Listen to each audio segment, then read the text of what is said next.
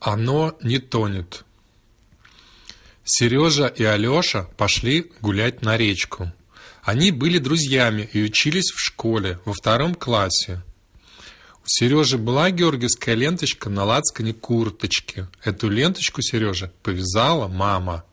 Она сказала, Сережа, знай, что это не просто ленточка, это память о наших предках, которые отдали свои жизни за Родину.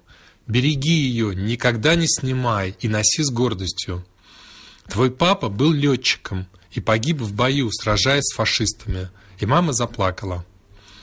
На самом деле папа Сережи был муниципальный депутат и бросил маму пять лет назад из-за своей секретарши.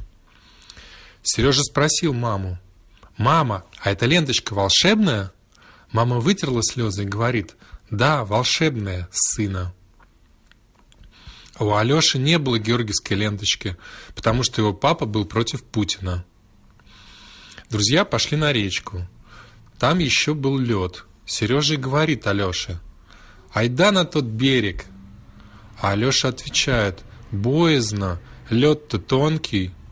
А Сережа говорит, «Не дрейф, у меня есть волшебная ленточка».